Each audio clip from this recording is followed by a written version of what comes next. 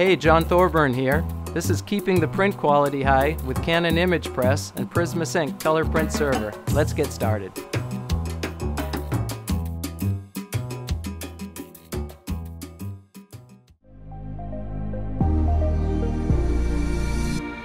Let's begin G7 Media Family calibration. Choose the G7 Uncoated family and the G7 Uncoated Media. Turn off the ILS and use halftone normal as basis for fewer sheets to measure. The inline spectrophotometer is available on some, but not all models of ImagePress, so for this video, we'll choose to turn the ILS option off to show the method available to all models, which is measuring using the X-Rite i1 Pro 2 instrument. The system prepares the calibration charts, warms up the printer, and prints the charts. Plug in the i1 Pro 2 and initialize it for hand measurement. Six sheets have to be measured. You can see from the screen display that it's four rows per sheet.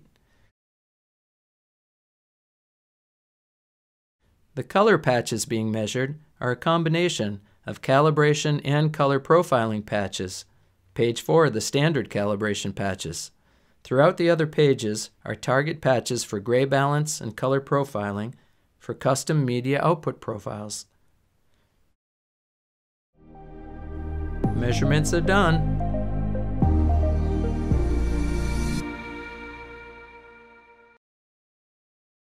Feedback information about the process appears.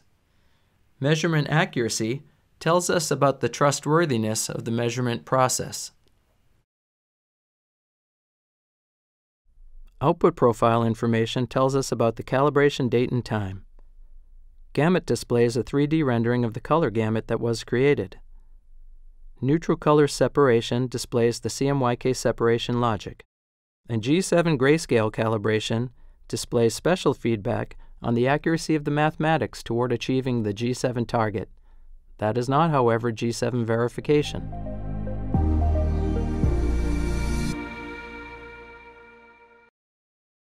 Our next step is to perform G7 verification on our paper. Turn off the inline spectro, warm up the printer, and print the verification pages. These two sheets will look more familiar to folks who know about the P2P target in the G7 process. These are the P2P gray patches, duplicated in multiple positions for data averaging, spanning two sheets of four rows per sheet. The green check mark means we passed G7 grayscale verification. Now we can see the target curves and the delta difference metrics down below. Measurement accuracy is trustworthy. We can move on ahead to color space validation.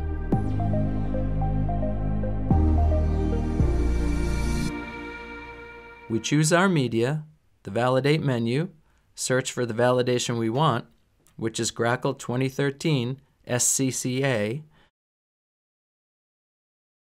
Measure by hand, not with the ILS. SCCA is substrate corrected colorimetric aims.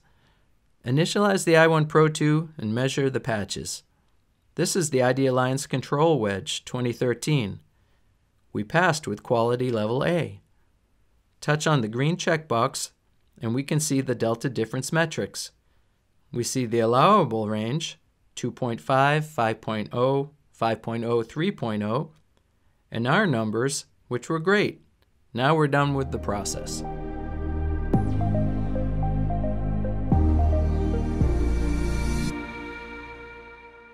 Color begins with light. The biggest source of light on Earth is our Sun. The Sun radiates electromagnetic solar radiation. Earth is covered by a dense atmosphere that can scatter the shorter, bluer rays of incoming light. Earth's equator receives the strongest rays of the sun's light and heat. Light is made up of photons, pulsating packets of energy traveling through space. All photons travel at the same speed. Each photon has a specific energy level which determines its wavelength. The visible spectrum is electromagnetic energy between about 380 and 700 nanometers. Almost all the light we see consists of a blend of photons of many wavelengths. Color results from the unequal distribution of energy across the spectral wavelengths of visible light. The properties of a color can be analyzed using spectral curves. The wavelength measured in nanometers is used to distinguish the hue, which is always 1 or a proportion of 2 of the spectral colors red, yellow, green, and blue. Multiple wavelengths at various energy amounts combine to produce a dominant wavelength, or dominant hue. Here is a green object. Here is a red object. The total amount of radiant energy across the wavelength distribution is used to distinguish the brightness, or the related qualities of lightness-darkness of a color. The number of different wavelengths contained in a color, a few or many, is used to distinguish the saturation of that color. This green is saturated. This green is desaturated. Color is an event that occurs between a light source, an object, and the observer. Color is a sensation evoked in the observer by the wavelengths of light produced by the light source and modified by an object. Change any one of those three things, and the color event becomes different, and we see different color. Let's examine the spectral curves of a few different light sources. Here is an example of daylight. Its exact composition changes with time of day and weather. This example has a correlated color temperature of 6500 degrees Kelvin. It is bluish and it looks cool. Here is an example of a standard illuminant. A standard illuminant is a light source that has been measured by the International Commission on Illumination, more commonly known as the CIE. The standard illuminant is called D50. It describes a different kind of daylight that has a correlated color temperature of 5000 degrees Kelvin. It is yellowish and it looks warm. The Kelvin scale is used to describe color temperature. Low numbers on the Kelvin scale are warm colors, visually speaking. High numbers on the Kelvin scale are cool colors. When the great Swiss theorist Johannes Itten taught cold-warm color contrast in his color class at the Bauhaus School, he described the extreme of cold-warm contrast as blue-green pitted against red-orange. Gray balances the linchpin that holds the balance between warm and cool colors. Here is the spectral curve of the red phosphor from an older cathode ray tube monitor. It is spiky. Spikiness in some light sources can lead to unexpected color matching or metamerism failures later when comparing printed sheets under different viewing conditions. What is usually called the color of an object is in reality its reflected color when it's illuminated by light. These curves are called spectral reflectance curves. Objects are made visible by light, and by the placement of their shadows, we recognize their shape and form. Objects in bright light are a source of reflected color, just as shadows are the recipients of those color reflections. Here is the spectral reflectance curve of a magenta object. Magenta is not a spectral color found in the rainbow, but as its spectral reflectance curve indicates, it results from the absence of green light. The fundamental basis of color reproduction is the three-channeled design of the human retina. The retina is a nerve cell lining at the back of your eye. The nerve cells that respond to light are called photoreceptors, and they come in two types, Rods and cones. Rods are more sensitive than cones and provide us vision in low light conditions. We have many more rods than we do cones. Cones provide us our color vision. There are three kinds of cones. Those sensitive to the long wavelengths in the red region, the medium wavelengths in the green region, and the short wavelengths in the blue region.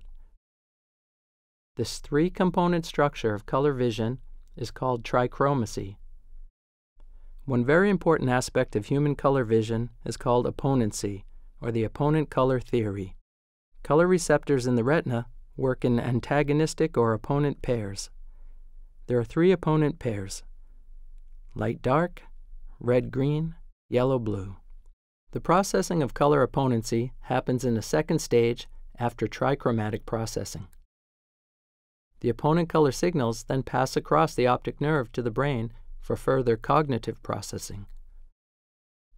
Thus, according to the theory, a color cannot simultaneously be light and dark, it cannot simultaneously be red and green, cannot simultaneously be yellow and blue. This opponent colored design is used in the CIE color space called CIELAB, or LAB for short. LAB is used in many color management systems today. L for light dark, A for red green, B for yellow blue.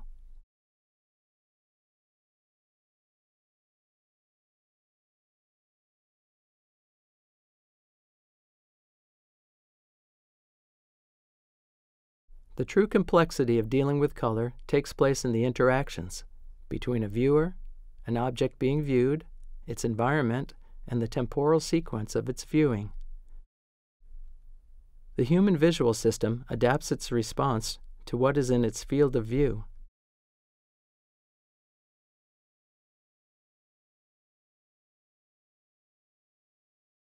Adaptation is not instantaneous, it happens over time.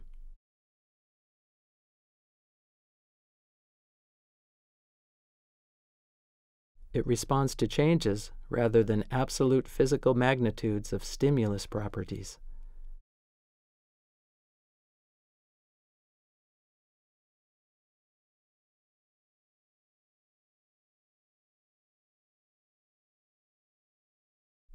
It responds to the nature of how we remember what we have seen. Our visual system has a dynamic response and adapts to the chromaticity or color of the illumination. This is called chromatic adaptation. It is when the appearance of objects are more or less preserved under different colored light sources. Chromatic adaptation involves cognitive mechanisms as well as physiological ones. Adaptation stabilizes after about one minute.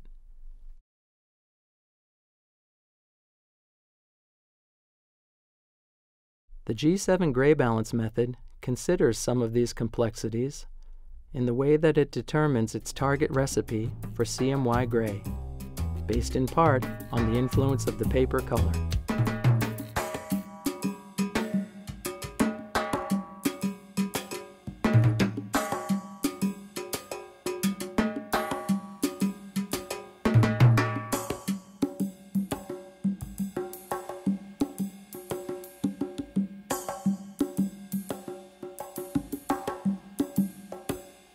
Thanks for joining us. See you next time.